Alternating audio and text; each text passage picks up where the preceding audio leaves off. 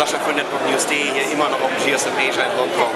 Äh, wir sind auf dem ZTE-Stand und schauen uns gerade das C-Pen an.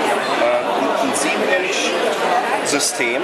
884 ist die Auflösung mit Android 2.1, basiert auf der Rockchip-Plattform.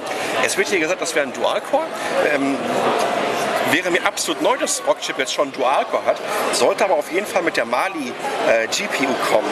Also 800x480 ist die Auflösung, resistiver Touchscreen, das seht ihr schon hier. Also ähm, es ist von der Bedienung her, müsst ihr euch daran gewöhnen, wenn ihr vom kapazitiven äh, Plattform kommt.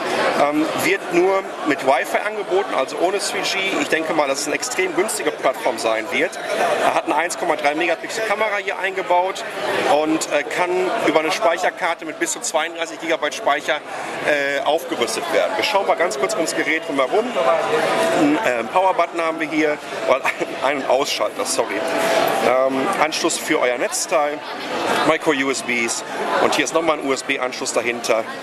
Und ähm, dann haben wir hier unten noch einen 4-in-1 Card Reader, wo ihr dann entsprechend halt den Speicher mit einer SD-Karte aufrüsten könnt. Auf der linken Seite haben wir gar nichts, auf der Rückseite haben wir gar nichts. Erinnert mich vom Design her so ein bisschen ans Arcos 9. Ähm, wir haben hier den ganzen Schwung ähm, Android-Buttons, den ihr schon kennt, Home, vor, zurück und äh, ins Menü zu gehen. Und ja, sehr interessantes Gerät. Jetzt ist es gerade leider wieder ausgegangen. Das ist ähm, das Z-Pad von ZTE. Äh, 7-Inch Android 2.1 Tablet basierend auf der Rockchip-Plattform. Ich bin Sascha für netbooknews.de. Vielen Dank fürs Zuhören.